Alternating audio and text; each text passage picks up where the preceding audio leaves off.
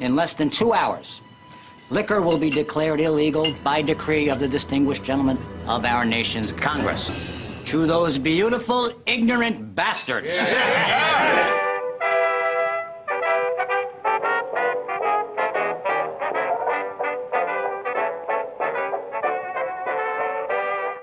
Prohibition!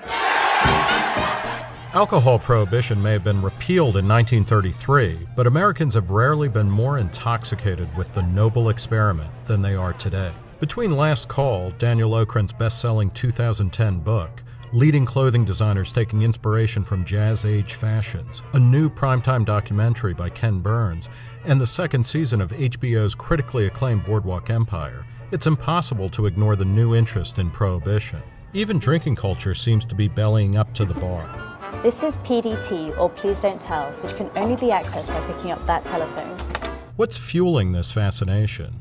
Reason TV talked to legendary filmmaker Ken Burns, whose Prohibition documentary is now hitting the PBS airwaves. I, I think there's always a superficial interest in prohibition. You know, you've got gangsters. Everybody wants to be able to kill the people who piss them off. Uh, you've got women who are seemingly promiscuous, the, you know, the flapper dancing with the short skirt and the bobbed hair on top of the tables. But I think in every case, Dan's book, uh, Boardwalk Empire, and our film, it's the understanding that prohibition reveals a lot more. Author Daniel Okrent is one of the central voices in the PBS documentary. It so doesn't fit our conception of how we operate as a people, uh, of our sense of the freedom of the individual, uh, that when you are confronted with it, it's kind of inescapably interesting. And many observers are finding analogies between Prohibition and today. Culture and art right now are reflective of a general sentiment in the society that the war on drugs has not worked. Aaron Houston is executive director of the Washington, D.C. based Students for Sensible Drug Policy. If you look at the art and you analyze how the art was portrayed just 20 years ago, 30 years ago, The Untouchables, right? The Untouchables was black and white. There was no in between. There was no discussion of whether alcohol prohibition sucked or didn't. A show like Boardwalk Empire actually highlights this is not a black and white issue. There's a huge gray area in between.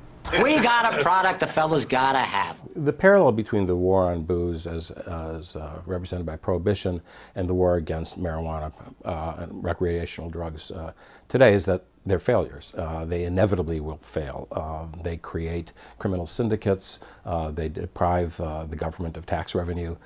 they do all sorts of things that serve no one's interest and are very much not in uh, our general social interest. And marijuana and alcohol prohibition may not just function similarly. There's good reason to think they may end the same way. Prohibition ended more than any other reason because the Depression came and the federal government was suddenly not collecting nearly as much as it had in income tax and didn't collect anything at all in capital gains taxes for four years.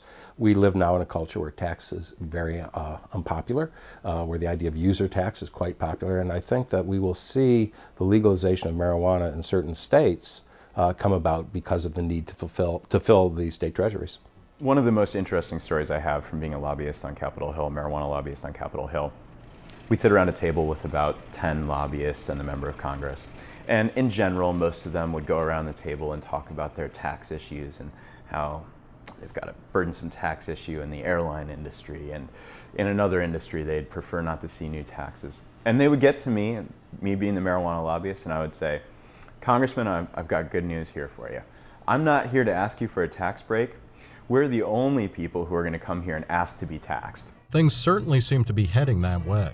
Last year, almost 47% of Californians voted for a ballot initiative that would have legalized recreational marijuana, and similar tax and regulate propositions will be on the 2012 ballot in states such as Colorado and Washington. Earlier this year, Republican Congressman Ron Paul and Democratic Congressman Barney Frank introduced the first ever bill to repeal federal laws against marijuana, and polls show historically high and still rising levels of support for legalizing and regulating marijuana, similar to the way we do with liquor. Actually, one of the benefits of prohibition, despite this horrible inheritance of organized crime and all the other bad things it did, is that it gives us pause. When somebody comes and said, you know what we need is we need this amendment or we need that amendment, we just kind of go, wait a second, because the memory of prohibition and those unintended consequences are fresh. Until we do finally learn the lessons of prohibition, we'll likely keep debating the equally disastrous outcomes of our failed drug war through art, culture, and the media. For Reason TV, I'm Nick Gillespie.